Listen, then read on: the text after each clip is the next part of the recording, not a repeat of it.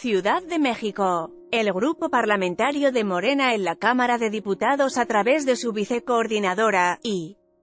coordinador, Tatiana Closier y Mario Delgado, anunciaron que presentarán una iniciativa de reforma al artículo 41 constitucional, para reducir el presupuesto a partidos políticos en un 50%. En conferencia de prensa, los legisladores López Obradoristas, señalaron que la iniciativa tiene como objetivo responder a la política de austeridad republicana implementada por el actual gobierno, y con este propósito se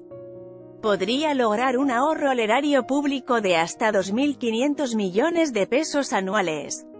Senadores priistas no avalarán terna de aspirantes a la SCJNL a iniciativa, propuesta por Clo, Stier Carrillo y Delgado Carrillo, propone modifica el artículo 41 de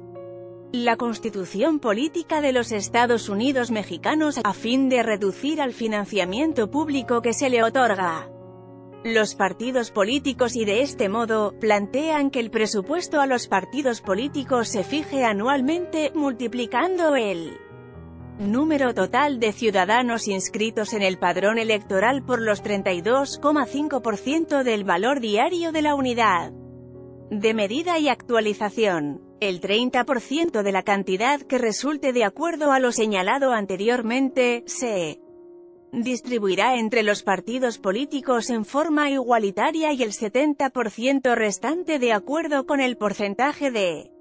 votos que hubieran obtenido en la elección de diputados inmediata anterior, señala la propuesta.